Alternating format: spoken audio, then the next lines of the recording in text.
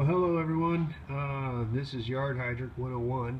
Uh, this is one video uh, that I did not see and wanted to share with everyone when I was doing my research on what had have been with uh, been wrong with my yard hydrant. Um, so you can see here, this is the typical plunger assembly. These two together.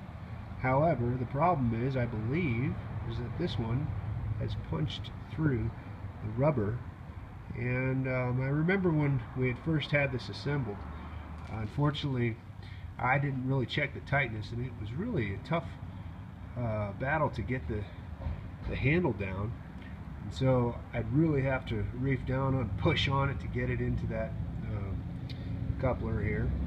And over time I believe what's happened was the uh, brass assembly the brass housing uh, basically has gone right through the rubber boot on the uh, on the plunger itself. So I've got myself a new plunger. It didn't uh, come without a lot of work though to pull this plunger assembly out.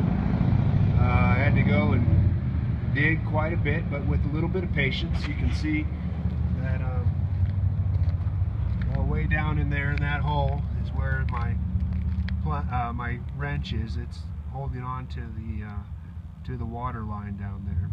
And so uh, had to dig quite a bit, use a couple of pipe wrenches, but it all worked out.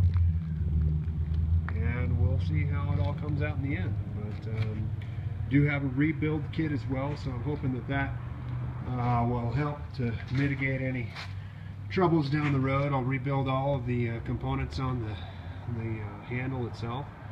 And uh, that's it. All right.